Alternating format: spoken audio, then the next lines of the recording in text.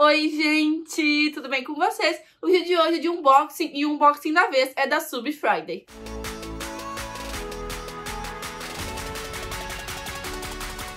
Eu vou, como sempre, abrir a caixinha com vocês desse unboxing que chegou e eu comprei apenas quatro livros. Eu não comprei tantos livros porque eu sei que tem muita Black Friday pela frente e esse foi só um esquenta da Submarino, então eu aproveitei e comprei quatro livros que eu achei que valia a pena, até porque tinha uma promoção no app que era cumulativo desconto e quatro livros me deu 35% de desconto, então valeu muito a pena. Então vamos começar a abrir a caixinha. Faz tempo que eu não compro livros na Submarino, faz um bom tempo, na verdade, ultimamente eu só tenho comprado na Amazon, mas agora valia a pena, né, então eu comprei.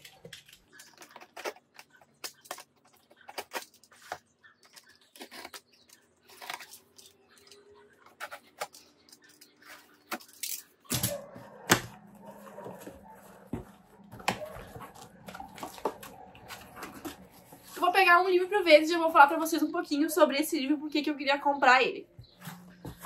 O primeiro, então, era Taylor Jenkins Reid, que é Amores Verdadeiros, e eu há muito tempo quero comprar ele, principalmente porque eu tô tentando comprar todos os livros que eu puder dessa autora. Inclusive tem um novo dela, que eu já tô pra receber também, mas eu quero comprar todos os livros dela, porque eu me apaixonei pelo jeito que ela escreve. Eu vou tirar o plástico aqui pra vocês. Então, gente, esse aqui é um livro de romance de uma autora que é muito conhecida por fazer livros muito bons. Então, conta a história da Emma, que tá comemorando seu aniversário de casamento quando o marido dela sofre um acidente de helicóptero e some. Ele então é declarado como morto e a Emma, anos depois, encontra o Sam, que era um amigo de infância dela, um primeiro amor que ela teve. E do nada ela tem que fazer uma escolha, ela recebe uma ligação e ela precisa fazer uma escolha. Da noite pro dia, ela tem dois amores verdadeiros. E é por isso que vem o título do livro. E o livro é assim, ó, gente. Ele é bem simples por dentro e tudo mais, ó. Ele não tem grandes coisas. Mas ele é bem bonito, ele é bem legalzinho. E depois eu vou colocar ele na minha estante.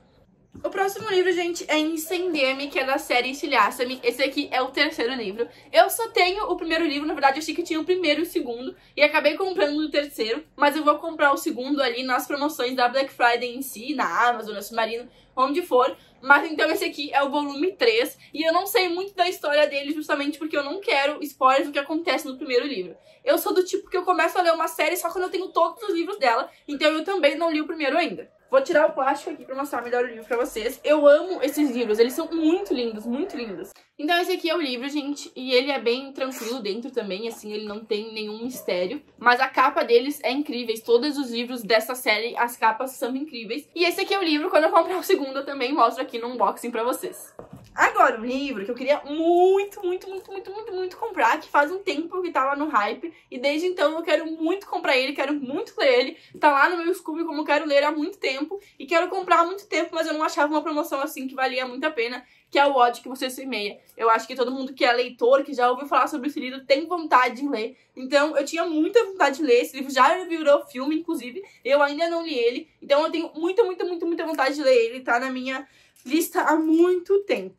E esse aqui, o livro, gente, ele é muito bonito. A arte dele é bem legal, ele tem um conceito bem diferente para falar sobre a justiça, enfim, né? E o livro basicamente retrata sobre o racismo e sobre a injustiça policial cometida contra negros. Então a Star, que é a menina principal, que é representada aqui no início do livro, ela presencia a morte do melhor amigo dela por um policial pelo simples fato do melhor amigo dela ser negro. Ele não tinha feito absolutamente nada. E a Star é a única testemunha. Então, obviamente, a vida dela vira de cabeça para baixo e muda completamente como ela se sente em relação ao mundo, o que, que ela quer do mundo. E eles tentam lutar por justiça, então, pela morte do amigo dela. E é um livro bem pesado, todo mundo fala que é um tapa na cara. Então, eu sempre quis ler, porque eu acho que é, deve ser muito interessante a forma como o autor escreve.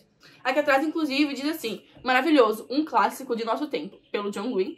Essa história é necessária, essa história é importante. Trágico e poderoso, um pedido final por mudança. Não vire as costas, junte-se a estar.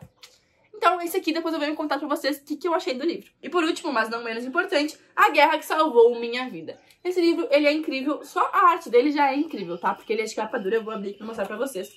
Mas é um livro que eu quero comprar há muito tempo, porque eu já vi muita booktuber indicando ele. Então eu fiquei, meu Deus, é, parece ser o tipo de livro que eu quero comprar. Tá na minha lista de desejo faz algum tempo.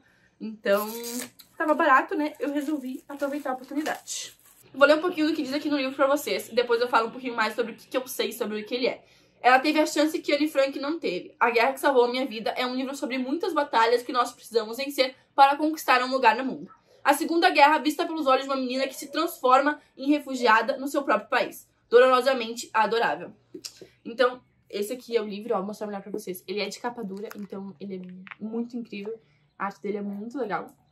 O livro conta a história principalmente da Ada, que é uma menina de 10 anos que tem uma deficiência. Ela tem um problema na perna e por causa disso ela sofre muitos maltratos da mãe dela.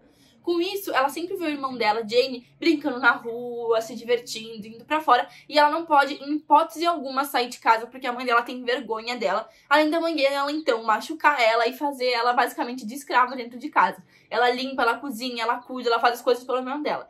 E quando a guerra começa, a Ada vê uma oportunidade de utilizar isso a seu favor e fugir da casa da mãe e ir para o interior da Inglaterra. Basicamente, por isso que o livro se chama, então, A Guerra que Salvou a Minha Vida, porque é uma oportunidade pra Ada ter outra vida que não de prisioneira na sua própria casa. E é isso, gente. Esse foi o unboxing de hoje. Se por acaso vocês quiserem comprar algum desses livros na Amazon, vocês podem utilizar o meu link que tá aqui na descrição do vídeo vocês vão estar automaticamente me ajudando com o canal. Até o próximo vídeo. Me sigam nas redes sociais. Beijos!